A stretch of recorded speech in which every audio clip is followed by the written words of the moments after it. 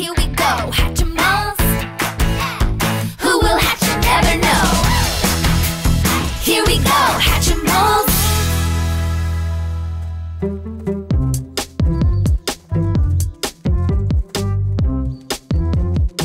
Zebrush, don't you wish your stripes were as fine as mine? Uh, my stripes are just as good as yours. Plus, I have more than you. More snore. You just can't handle my super sublime stripiness. Ha!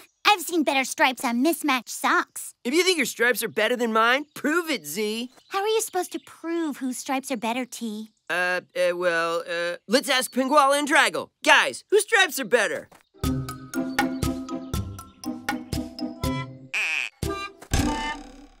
Okay, Hatchimals, it looks like it's time for Who Wore It Better? Let's ask passersby here at Lilac Lake what they think. Excuse me, sir, whose stripes are better? So I told them it's obviously whose ever stripes smell more nicer. Can a stripe even smell? Mind you, mine smell like licorice probably. No, no, mine. Mine smell like rainbows, most likely. And I said, maybe it's whoever stripes makes them more faster. Ooh, my stripes are like racing stripes. Watch! Mine make you run super fast. Look, are you looking? Look. And I said, maybe it's whoever stripes makes them more louder.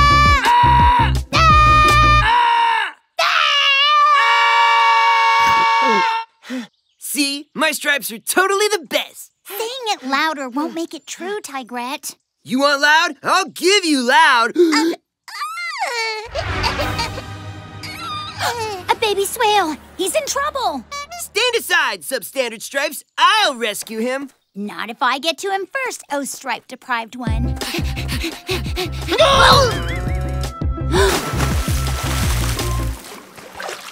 So Tigrette and Zebrush realize it doesn't matter what you look like. More important is what you're like on the inside. Whoa, Lilac Lake changed my color. Mine too. We we're the same. Exactly the same. Your stripes look hatchtastic in that color, Z.